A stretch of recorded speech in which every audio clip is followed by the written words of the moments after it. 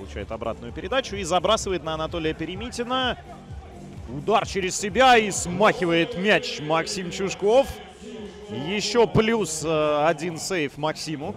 Очень даже красочный и зрелищный. Опять дальней рукой. Вообще вот эта работа голкиперов именно дальней рукой, она говорит как раз об уровне и классе вратаря зачастую.